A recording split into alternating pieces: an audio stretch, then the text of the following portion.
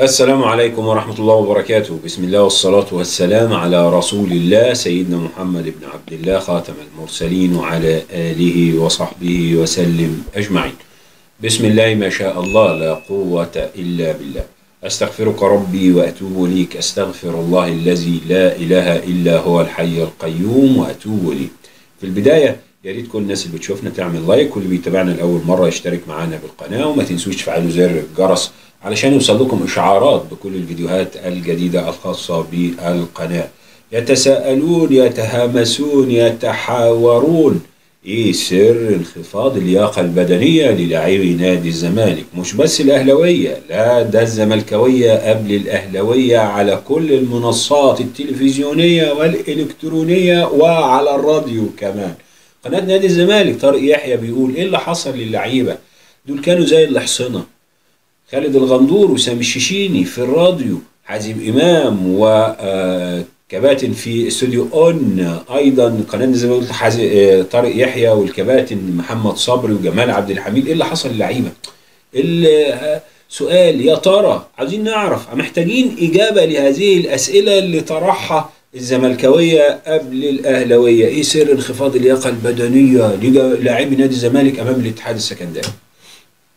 بعد الهجوم المس... قلت قبل كده ونوهت ونبهت المسؤولين عن الوسط الرياضي. من أمن العقاب أساء الأدب وقلت ونوهت إن آه، التمادي والتساهل آه، مع بعض التجاوزات هيخلق نوع من أنواع التعصب ما بين الجماهير. هتوصلنا لأزمة. حصل التجاوز ده وشفنا نتيجته في مباراة أسوان والزملكاوية عملوا إيه في الحكم محمد آه، الحكم أمين عمر. وشفنا بعض الزم... ال- الجماهير أسوان بسبب آه، إثارة آه، شيكابالا للجماهير شاور لهم هش وشفنا اللي حصل يعني. وبسبب كلام مرتضى منصور في الإعلام باستمرار بيوث... ما هو الجمهور الأسواني ده جزء من الشعب المصري. وهم كلنا مصريين بعيدا عن الكرة. برضه مش عاجبه إن وجه الرياضي المصري يكون بهذه الطريقة يعني.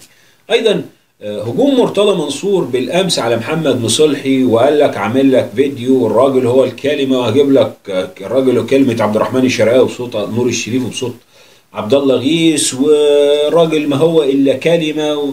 وتجا... وانت رجعت في كلمتك والنسوان في الاتحاد في الإسكندرية رجالة ويا رجال مش وكلام من هذا القبيل اللي قاله مرتضى منصور آثار حفيظة وغضب بعض جماهير نادي الاتحاد السكندري اللي كانوا موجودين اليوم في مباراة الزمالك واللي انتقدوا مش عايز أقول هاجموا يعني انتقدوا مرتضى منصور في المدرجات. هنوصل لحد فين؟ هنوصل لحد فين؟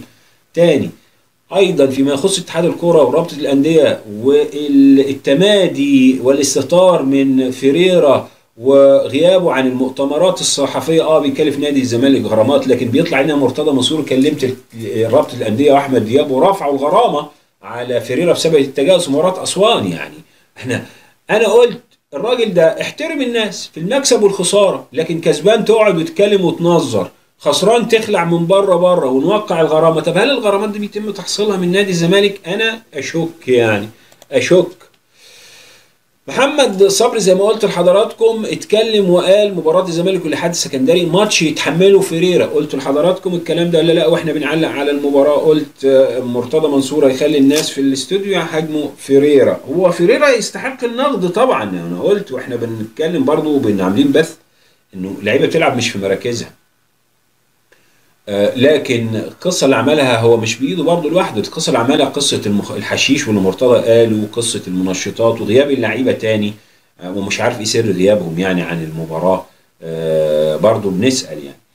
آه، مخلي الأداء مش جيد لكن هو جماهير الزمالك بتنتقد مرتضى وبت- وبتنتقد ابنه. فمرتضى يخلي القناة تهاجم فيريرا فالجمهور ينشغل بالدفاع عن فيريرا بدل الهجوم على مر شغل شغل شغل عالي. بيحصل كل مرة الزمالك بيحصل فيه اخفاق فبدأ محمد صبري وأيضا آه، جمال عبد الحميد طارق يحيى يتكلموا عن فيريرا في أخطاء ما كانش في روح في الملعب ما ينفعش فريق بينافس على بطولة واخدها مرتين يبقى يخسر نق- نقطتين بشكل متتالي من الداخلية ومن يخسر نقطتين في المباراة دي وياخد نقطتين من مباراتين الداخلية وعلى الإدارة إنها تتدخل بسرعة جدا وتفهم من الراجل إيه الموضوع فيريرا أيضا جمال عبد الحميد قال لك الماتش سيء جدا وجمال عبد الحميد جابها المرة دي بقى في الملعب والملعب وحش قوي. يا أخي أنت أول مرة تلعبوا عليه. هنقعد وهن- وهنقفل على نفسنا ونشوف الغلط فين وهندوي داوي. يا مدوية. كانت في أغنية للفنانة الشهيرة اللي ما أعرفش اسمها اسمها مدوية باين. اتحاد الكرة. شوف يا سيدي. اتحاد الكرة هذا الخبر طلع منسوبا إلى لجنة أو منظمة رفعه المنشطات المصرية أنهم بعتوا خطاب لاتحاد الكرة يبعتوا لنادي الزمالك لخضوع الثنائي أحمد فتوح عبد الله جمعة للمنشطات خلال 72 ساعة. حلو الكلام؟ طلع علينا الأستاذ محمد أبو الوفا عضو مجلس إدارة اتحاد الكرة المصري قال لك ما وصلناش حاجة من لجنة المنشطات يعني هنتوه كده الموضوع هيتوه يعني وصل ولا ما وصلش طب على بال ما يوصل يكون عندنا شهر مثلا والمنشطات والكشف بتاع المنشطات أو عينة ما يبقاش لها أي 30 لازمة يعني.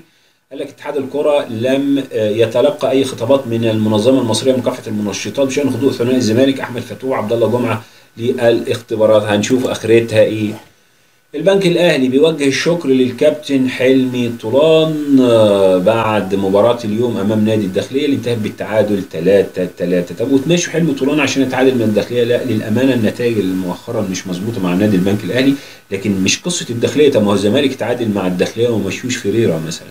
قال لك قررت لجنة الكرة برئاسة اللواء أشرف نصار توجيه الشكر لحلمي طولان المدير الفني لفريق البنك الأهلي وجهازه المعاون على ما قدموه. خلال الفترة الماضية حيث اسندت أسندت المهمة إلى أمير عبد العزيز ليتولى المسؤولية بشكل مؤقت خلال الفترة المقبلة لحين التعاقد مع مدير فني جديد. مع السلامة يا كابتن حلمي. فيما يخص كهربا كل الأمور بتقول إن كهربا يشارك حتى الكابتن سيد عبد الحفيظ. قال لك موقف كهربا قانوني من حيث المشاركة في المباريات لكن زيادة تأكيد منتظرين وصول خطاب رسمي من الفيفا بذلك. هاني سعيد. انتفض بعد مباراة فيوتشر وقال لك اللي حصل في مباراة فيوتشر مش طبيعي. الكل شاف اللي قدمه الحكم محمد معروف من ظلم فادح وقرارات غير صحيحة. وفي مفاجأة بقى بيقول لك ربما المباراة دي تتعاد يعني. هل هتتعاد ولا إحنا ماشيينها أي حاجة؟ ما أعتقدش إنها تتعاد يعني. قال لك محمد معروف يقود مباراة فيوتشر وبيراميدز المرة الثالثة على التوالي. الحكم كان موجه ضد لاعيبة بيراميدز طوال اللقاء. ما حدث لا يمت لكرة القدم بصلة على الإطلاق ولا يمكن السكوت عليه. مطلقا ولكن باستمرار باتشيكو وتوالي اللقاءات مستوى بيراميدز سيتطور بشكل ملحوظ وسيظهر الوجه الحقيقي للفريق. بقى قابلنا يا أخ هاني. طيب إيه سبب بقى اللي إحنا بنخلينا نقول المباراة آه، ممكن تتعاد أو بيراميدز طالب بإعادة المباراة؟ آه، قال لك بسبب إن الأخ محمد معروف طرد عبد الله السعيد واستأنف اللعب وعبد الله السعيد كان موجود في الملعب. إيه المشكلة يعني؟ ده هل المباراة تتعاد؟ لا طبعا. كانوا عادوا يا صديقي مباراة آه، نهائي كأس العالم ما بين فرنسا والأرجنتين. الهدف الثالث اللي سجله ليونيل ميسي في مرمى فرنسا. قبل تسجيله كان في اتنين لعيبة نازلين أرض الملعب يا صديقي يعني. فما تقفش عن الحاجات أنت في الدوري المصري ما تقفش عن الحاجات دي.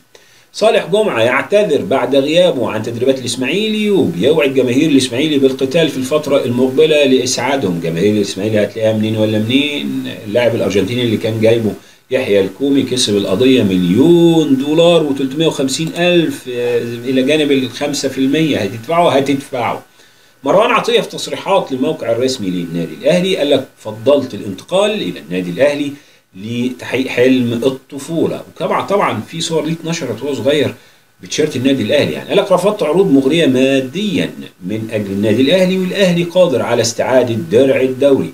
قال لك وحضرت مباراة النادي الأهلي وأتلتيكو مدريد من المدرجات وكنت بحلم دايما بارتداء تيشيرت النادي الأهلي. وقال لك لن أنسى هدف محمد أبو تريكة في 2006 في مرمى نادي الصفاقسي التونسي. كل التوفيق للنادي الأهلي. بكرة إن شاء الله دعواتكم بإذن الله نفوز على النادي المصري ونعتلي صدارة الدوري بفارق ست نقا- نقاط عن فيوتشر وسبع نقاط عن نادي الزمالك. في النهاية شكرا على حسن متابعة حضراتكم. ودمتم في أمان الله ورعايته.